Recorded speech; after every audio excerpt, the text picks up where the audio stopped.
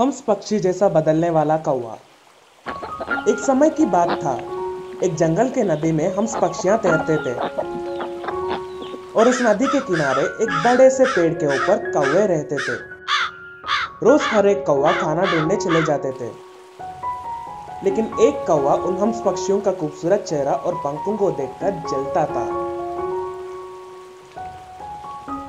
अरे यार, इन हंस पक्षियों को तो देखो। कितना सफ़ेद और कितना खूबसूरत दिख रहा है। और मुझे देखो, कितना गंदा और काला दिख रहा हूँ। मेरा नसीब ही खराब है। ऐसा कहकर हर रोज उदास होता था। एक दिन उस कौवा को एक मूर्ख उपाय आया। उन हंस पक्षियों की तरह छोटे छोटे पौधे खाकर और रोज पानी में तैरकर अच्छे से अपना पूरा जीवन बिताना चाहता था। ऐसा मूर्ख की तरह सोचा। और उस मूर्ख सोच को अपनाते हुए रोज विचित्र प्रयत्न करता था। और ऐसे ही एक दिन सफ़ेद रंग में डूबकर उठ गया और पूरा सफ़ेद दिखने लगा। हवा में उड़ने की बजाय पानी में तैरना शुरू किया। उस कौवे की इस अवस्था को देखकर एक हंस पक्षी ने ऐसा पूछा, दोस्त, मैंने तुम्हें यहाँ कभी भी नहीं देखा। हाँ हाँ मैं दूसरे शहर से इस नदी के पास आया हूँ। वहाँ सब लोग मुझे देखकर ये देखो, ये हंस पक्षी कितना खूबसूरत है। करके मेरे को तारीफ़ करते थे ऐसा उस कौवे ने अपने आप को झूठा तारीफ़ किया। लेकिन उस कौवा को तैरना नहीं आता था। इसलिए वो कभी कभी उस पानी में डूबकर कष्ट सहता था। और उसको पौधों को खाने की आदत भी नहीं था। इसलिए उन पौधों को वो खा नहीं पाता था। फिर भी उस कौवे ने हंस पक्षी की तरह बदलने के लिए जिद पकड़कर बहुत कष्ट देते हुए प्रयत्न करता था। लेकिन वो हंस पक्षी की तरह कभी भी नहीं बन पाया और उल्टा पूरा शरीर का ताकत खो बैठा। और भी कुरूप और बुरा दिखने लगा। उस कौवा के रूप को देखकर हम पक्षियों ने भी मज़ाक उड़ाना शुरू किया और उस कौवे ने भी सबक सीखा कि मैं इतना प्रयत्न करने से भी कुछ भी नहीं मिला और भी कुरूप और बुरा दिखने लगा और मेरा ताकत भी पूरा खो बैठा। ये सब करने से कुछ भी नहीं होगा। आदत बदलने से मैं अपना रूप को बदल नहीं सकता। मेरा गलती यही है कि मैं अपने रूप में खुशी नहीं ढूंढ पाया। ऐसा उस कौवे ने सबक सीखकर पानी में दो बार डूबकर अपने असली रूप में आ गया और उड़ते हुए पेड़ के ऊपर चला गया। इस कहानी का नीति ये है कि दूसरों को देखकर जलने से हमको ही बहुत कष्ट सहना पड़ेगा। जानवरों की बुद्धि। एक जंगल में सारे जानवरों के महाराज शेर है। सलाह देने वाले चूहा, कौवे और बेड़िया थे। एक दिन ये तीन जंगल में घूम रहे थे। तब एक नादान गधा दिखा। उसके पास जाकर, तुम कौन हो? इस जंगल में क्यों आए? भेड़िया ने कहा। तब गधे ने बोला, मेरे मालिक के कपड़ों का बोझ ना उठा पाते हुए, उसकी झंझट बर्दाश्त ना करके मैं वहाँ से भाग कर आ गया। अब मेरा कोई दिशा ही नहीं। मुझे आश्रय देके पुण्य कमा लो। अच्छा डरो मत। तुम्हें हमारे वर्ग में ले लेंगे। हमारे महाराज बहुत अच्छे हैं। उन्हें बोलकर तुम्हें अच्छा काम भी दिला देंगे। हमारे साथ आओ। चूहे ने कहा गधे के मानने पर वह तीन उसे लेकर शेर के पास पहुँच गए। प्रभु ये उसके मालिक की झंझट बर्दाश्त ना करते हुए भागकर जंगल में आ गया। अच्छा बलवान और बुद्धिमान है। तो बेड़िए ने कहा, सीधा साधा स्वभाव का है। तीनों के तीन गधे की बहुत तारीफ़ कर रहे थे। उसके सलाहदारों के मुँह से बहुत तारीफ़ सुनने पर शेर ने गधे को काम पर रख लिया। ऐसे ही धीरे धीरे गधे का स्वभाव शेर को बहुत अच्छा लगने लगा। उसने गधे को करीबी दोस्त समझकर उस जंगल के मंत्री बनाया। कल के आई हुई गधे को मंत्री बनाने की वजह से जलने वाले भेड़िया चूहा और कौवा गधे से नफरत करने लगे। समय देखकर उसे हानि पहुंचाना चाहते थे। एक बार शेर बीमार हुआ।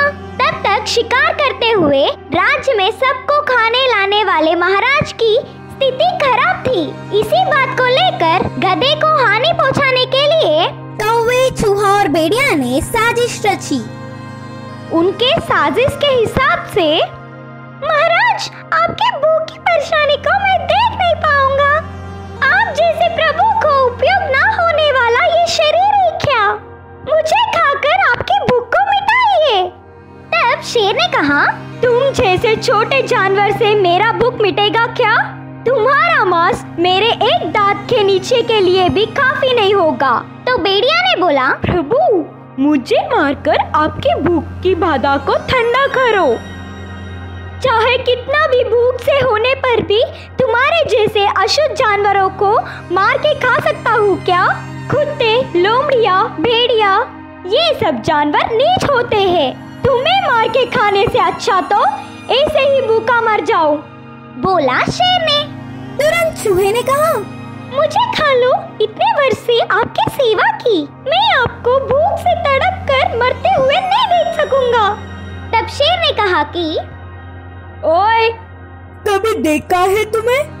तुम जैसे फिद्दी जानवर को मैं खाऊं? ना ना ना बिल्कुल नहीं खाऊँगा। फिर गधे की बारी आई। महाराज के पास जाके महाराज शेर मेरा शरीर पवित्र है। मेरे भूख से आपका पूरा भूख मिट जाएगा। इसीलिए बिना संदेह किए मुझे खाइए। विश्वासघात ना कर पाते हुए हिचकिचा रहा था। महाराज, आपने तो हम तीनों को खाने से मना कर दिया। ठीक है ना? इसकी प्रार्थना को स्वीकार करके अपनी भूख को मिटाइए। कौवे ने भी उसके बातों का समर्थन किया।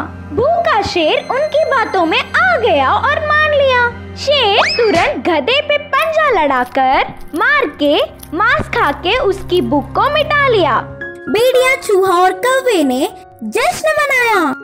इस कहानी के द्वारा हमें यह सीख मिलता है कि दुष्टों से मित्रता नहीं करना चाहिए। पिंजरे में कैद शेर।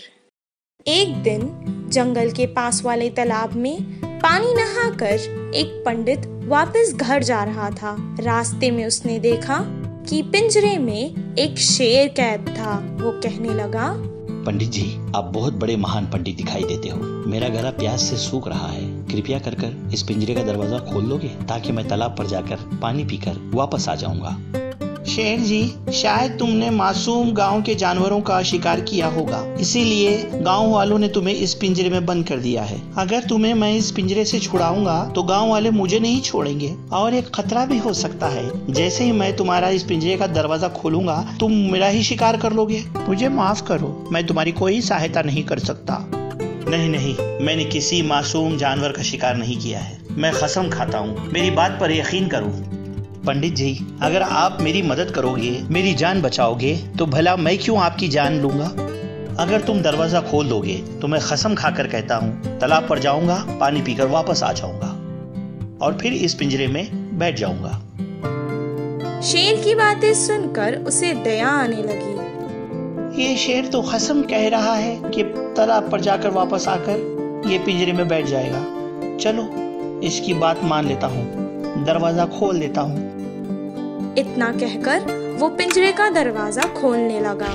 जैसे ही दरवाज़ा खुल गया शेर खुशी से दहाड़ता हुआ बाहर आ गया। आते ही उसने पंडित पर हमला किया। शेर कहने लगा तू बहुत बड़ा मूर्ख है।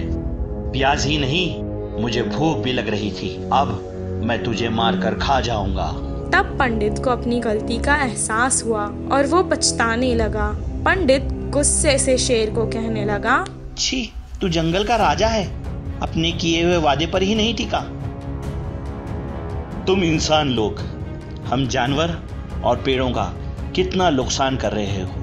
ये एक मेरा अभिप्राय नहीं है। सारे जंगल के जानवर और पेड़ों का अभिप्राय है। तुम अगर चाहे तो जाकर पेड़ों से और जंगल के जानवरों से जाकर पूछो। अगर उनमें से एक भी कह दे कि तुम सही हो तो मैं तुम्हें जीवित छोड़ दूँगा। शेर ने अपने पंजे पंडित से हटा लिए। वो तुरंत एक पेड़ के पास गया और कहने लगा तुम इंसान लोग सच में निर्दय हो। पहले मेरे फल खाते हो फिर मेरे पत्ते तोड़ लेते हो फिर मेरी टहनिया और मेरी लकड़ी काट कर लेकर जाकर जलाने में इस्तेमाल कर लेते हो। इंसान को कुछ भी करने पर पाप नहीं लगेगा। आम के पेड़ ने जवाब दिया। आम के पेड़ की बातें सुनकर पंडित उदास हो गया। आगे से एक गधा उसकी तरफ़ आ रहा था। इंसान बहुत स्वार्थी होता है। मैं सारा दिन मेहनत करता हूँ और थोड़ी देर ठहर जाता हूँ तो मुझे मारते हैं और गाली देते हैं। इंसान बहुत खराब है। गधे का जवाब सुनकर वो और ज़्यादा उदास हो गया। तब उसे रास्ते में और जानवर मिले। किसी ने उसका साथ नहीं दिया। देखा तुम इंसानों का किसी ने भी पक्ष नहीं लिया। अब मुझे तुम्हें खाने से कोई नहीं रोक सकता और मुझे पाप भी नहीं लगेगा। पंडित के जीने की आस अब खत्म हो चुकी थी।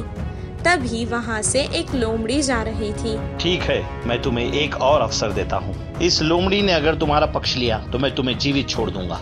जैसे ही शेर ने लोमड़ी को देखा तो शेर ने उसे अपने पास बुलाया। लोमड़ी तुरंत शेर के पास आ गई और सब कुछ गौर से देखने लगी। चतुर लोमड़ी को समझ आ गया था कि कुछ तो गड़बड़ है। हाँ आदमी के स्वभाव के बारे में मुझे भी बहुत गुस्सा है। लेकिन यहाँ क्या हुआ है मुझे आराम से बताओ और मेरे सवाल का सही सही जवाब दो। पहले पंडित ने कहा कैसे वो तालाब में पानी नहाकर वापस घर जा रहा था और उसे शेर को देखा? शेर और उसके बीच हुई बातें सब कुछ उसने लोमड़ी को बता दिया। जल्दी कहो मुझे भूख लग रही है। उसी के कारण उसे बहुत ज़्यादा गुस्सा आ रहा था। शेर महाराज आप इतने बड़े हो और ये पिंजरा तो इतना छोटा है। आप इस पिंजरे में गए कैसे थे? मुझे तो इस बात पर विश्वास ही नहीं हो रहा।